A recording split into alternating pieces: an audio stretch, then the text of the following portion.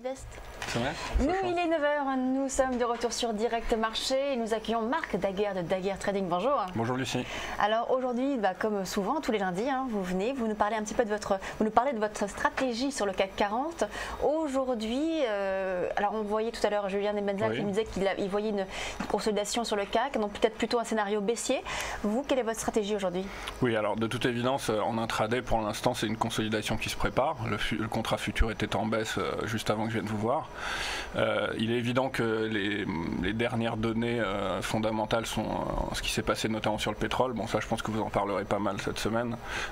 et donc, plus globalement sur les matières premières.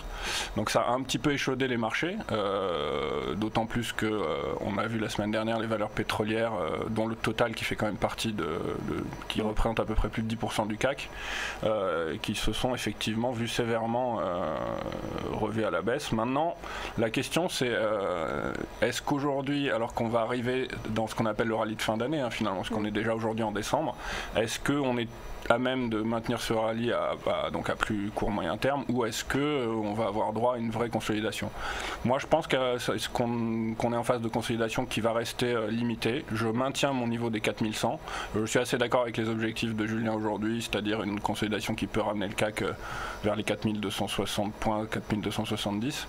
Mais globalement je ne pense pas qu'on soit en train d'inverser totalement la tendance. Reste à savoir ce qui va se tramer par rapport à tout ça.